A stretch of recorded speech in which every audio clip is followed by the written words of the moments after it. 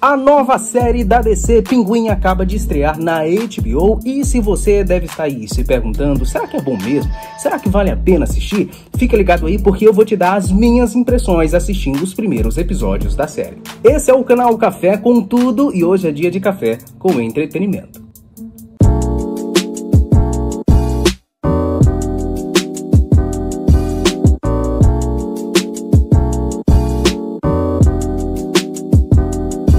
A série que estreou no final do mês de setembro narra a história do famoso vilão da DC, Pinguim, ou Oswald Cobb, que após todos os acontecimentos do filme de The Batman, tenta se aproveitar da ruína em que se tornou Gotham City após os ataques do vilão Charada e após a morte de Carmine Falcone e se apoderar do trono do sombrio submundo do crime de Gotham City. E aqui eu já vou tirar sua primeira dúvida. Em que universo se dão os acontecimentos de Pinguim?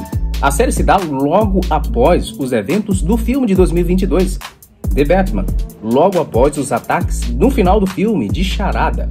A cidade se encontra totalmente devastada, as pessoas estão sem drogas, Carmine Falcone acaba de morrer e o submundo do crime está sem sua liderança principal, o que causa aí uma porrada de ataques de gangues, lutas de gangues entre si. A escassez de drogas ilícitas e ao aumento das disputas entre gangues transformou a cidade num verdadeiro caos. Mas e quanto à atuação dos atores? Cara, na minha opinião, os atores entregam muito bem aquele nível de tensão que a gente viu lá no filme de The Batman em 2022.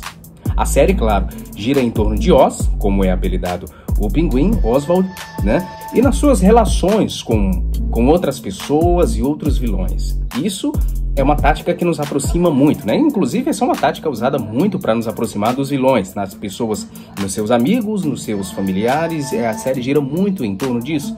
Nos faz criar uma certa tensão e medo pelos personagens mais perigosos, os vilões mais perigosos, e até uma certa empatia pela família de Oswald e seus amigos ou capangas.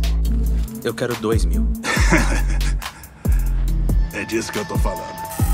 Mas não.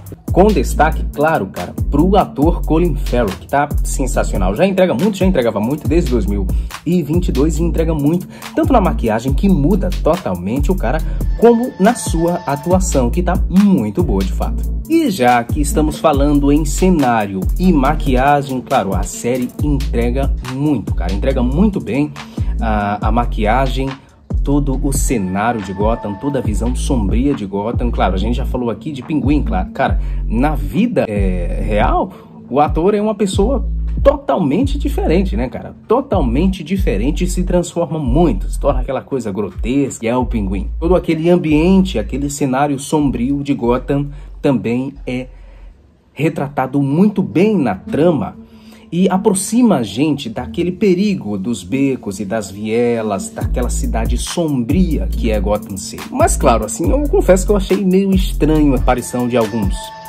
carros muito atuais e até futurista no meio das séries assim de ações, alguns aparelhos tecnológicos bem avançados, já que eu acho que o intuito da série é se passar numa época mais vintage, né? Então você vê um, uns carrões assim no meio dos carros mais antigos é meio estranho, mas claro, uma série desse porte ela precisa ser patrocinada.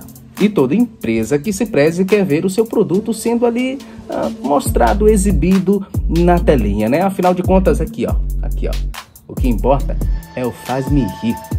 Mas claro, vamos ao que importa, que você deve estar se perguntando de verdade. A série Pinguim é bom de verdade? E sem mais enrolação eu digo, nos primeiros episódios que eu assisti, com certeza a série é muito boa. Eu daria um 8 de 10. Claro, porque a série ainda tem que se desenvolver muito, mas se você gosta de mais suspense, daquele ambiente sombrio de Gotham, se você é um decenalta de verdade, com certeza você vai ficar muito satisfeito com o que a série está entregando na trama do novo vilão, do novo ou velho, antigo vilão Pinguim. Tá muito bom, cara. Pode assistir sem medo. E é isso, galera. A série do diretor Matt Reeves promete muito. E se você quer saber muito mais coisas do que ainda tá para acontecer nessa série, fica ligado nesse canal. Se inscreva, compartilhe, ative o sininho e fica ligado aí porque tem muita coisa boa para acontecer.